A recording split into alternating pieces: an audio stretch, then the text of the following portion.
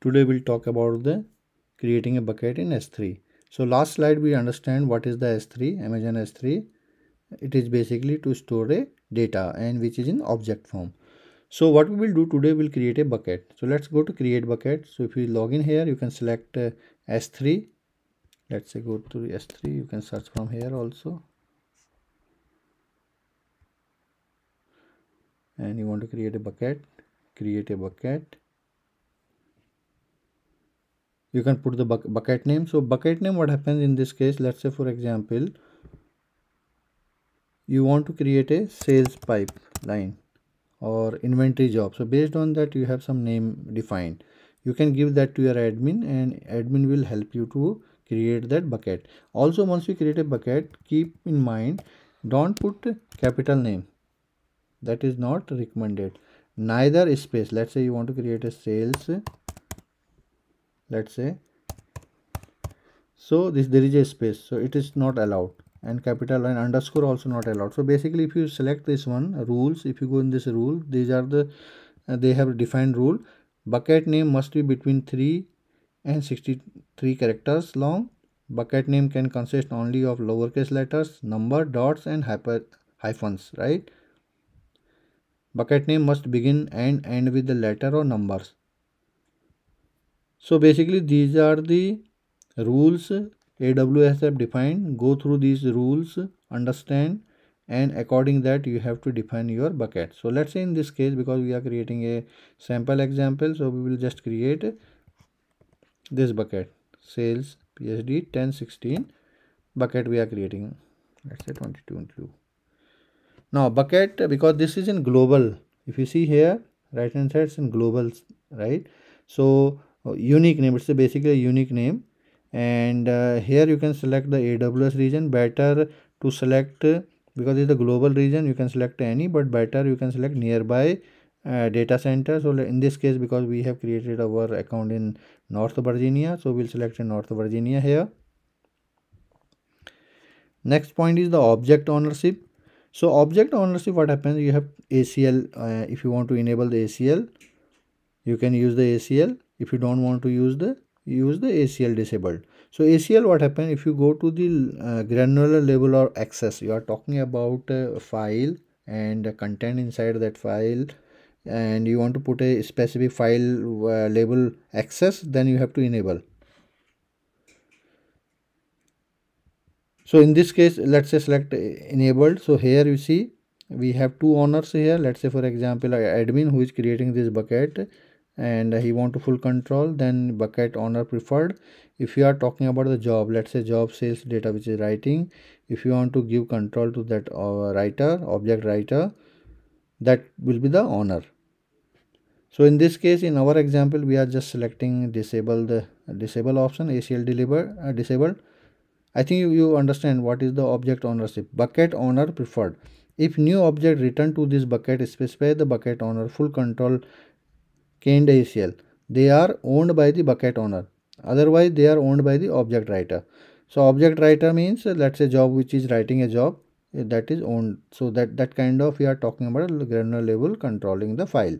So in this case, let's select uh, ACL disabled coming on the next is that public access. Generally what happens if you are creating a uh, bucket which is access in the internet if you are allowing to public so what will happen if you have sensitive information your organization information that can be a uh, someone can misuse that data. So better always allow uh, basically block all the public access. That is the recommended one. If you are not if you in case you want to allow everyone to see then you can deselect this option and acknowledge. Once you acknowledge this so that means you are saying that it, it that uh, especially that uh, bucket can be accessed publicly. So better select block all. That is the best option. If you want to let's say just select one you want to just allow this one block public access to bucket you can select one. If you want to another one you can select this way. This is this is purely a requirement but uh, best option let's uh, any public access disallow. Coming on the versioning so what happens? Sometimes you have the code let's say or you are putting that into your s3 today. Tomorrow you came you made some changes on the code and you want you want to push that code into the bucket. So what will it will override it will show you the current code. But you want to see in the previous what whatever code you have written you want to compare that. So basically in that kind of scenario we have to enable the s3 versioning. That helps us to track what are the modification or changes happened on the file. So because we are just taking this sample exercise so we are just disabling that but but this versioning have to be enabled now coming on the tag so let's say for example the admin who is creating this bucket for a team or there is one specific team which has requested this folder to be created so they can use this folder to push the data into that particular folder. So they may be it is a production maybe they are opening a change ticket. Through the change ticket they can tag here who have requested or change number they can put. It depends on what kind of tag they want to put so multiple tags we can add here. We can add the another tag also here. Now next option is very important. Sometimes what happens if you have sensitive information let's say you are talking about the personal identifier PII data maybe they have the email address maybe a phone number.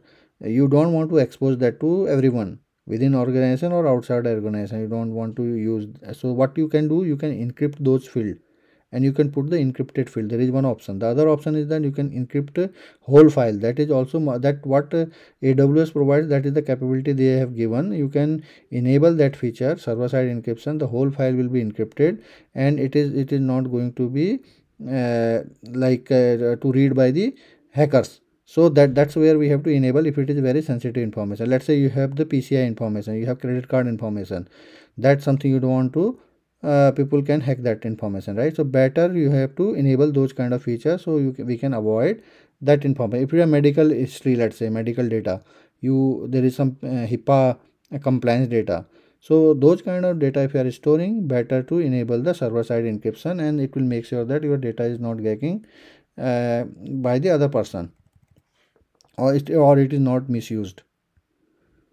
Coming on the advanced setting so advanced setting what happens let's say for example if you enable this one so one thing keep in mind what it is saying that object lock so store object using a write once read many model to help you prevent object from being deleted or overwritten for a fixed amount of time or indefinitely.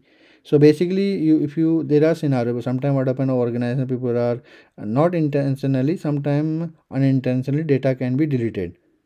You want to avoid those kind of situation you want to put a lock. So override return you want to avoid over return or maybe delete it. So you have to enable that. But make sure once you enable this one then uh, by default versioning will be disabled. Because see anyhow the, because this is this is your you have enabled this one right? So that's where you see bucket versioning cannot be disabled when object locker is enabled. So that is also uh, keep in mind once you are creating a or accessing or enabling the object lock so let's let's say in this case we are disabling this one this feature and uh, we have uh, versioning enabled so let's disable this one also so let's review one more time before we create a bucket. So if you see, I have the bucket name which needs to be unique, globally identified. Then we can select the regions where we want to put that uh, bucket. And then we have uh, granular level access through the ACL, access control list. If you want to enable, we can enable. But in this case, we have disabled that one. Block all the public access. We don't want to give the permission to anyone to access that, uh, uh publicly access that uh, folder or that bucket. We are we are allow we are blocking all these access. Versioning we have disabled. We know what is the versioning. Tag we put here and we disable the encryption and object lock also. So now let's create a bucket. Okay so now if you see here the bucket was got created. Okay bucket is created now. So let's say for example you want to upload some file here. So what you can do you go in upload